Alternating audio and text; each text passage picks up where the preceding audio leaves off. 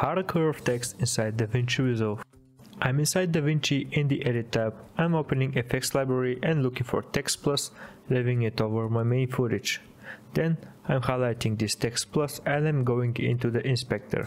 I'm inserting the desired text that I want, adjusting the font family, the font style, the color and also the size and once you did all that it's time to curve the text so that it can look more stylish and leave it over the tower. First you wanna go to layout right here then you can expand this type box right here and select circle. Also, you can adjust the center XY values so that it can match your footage and leaving it over the desired place.